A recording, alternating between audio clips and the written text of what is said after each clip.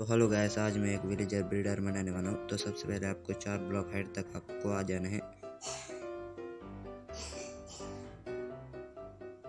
उसके बाद आपको इस, इधर आपको इस तरीके से ग्लास को प्लेस कर देना है। ग्लास को प्लेस करने के बाद आपको तीन बेड को आपको इस तरीके से प्लेस कर देना है। तीन बेड को प्लेस करने के बाद आपको ट्रैप डोर लेने हैं और ट्रैप डोर को आपको इस तरीके से प्लेस कर देना है।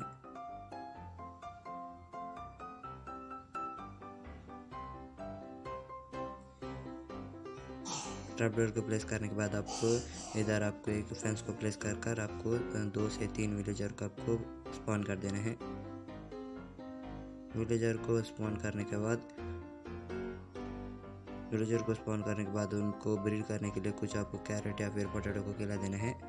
तो गैस ये लोग ब्रीड करने में थोड़ा टाइम ले रहे हैं। तो गैस जैसे ही ब्रीड कर लेंगे उनका बच्चे आकर इधर गिर जाएँगे। तो गैस वीडियो अच्छी लगी तो वीडियो को एक लाइक चैनल को